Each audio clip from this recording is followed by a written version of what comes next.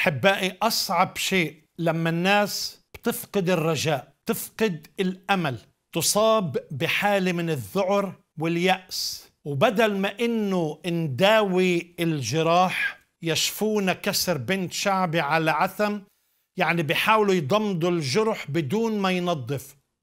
محتاج ننظر إلى الوراء للماضي. نتوب.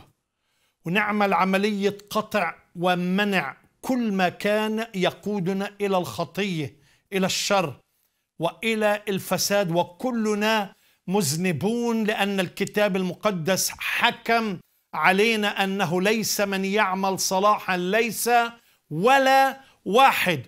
فأوعى تنخدع بشوية أقوال دينية أو كلمات حتى اليوم عم بيستخدموا الكتاب المقدس لمصالحهم حتى يضلوا الشعب.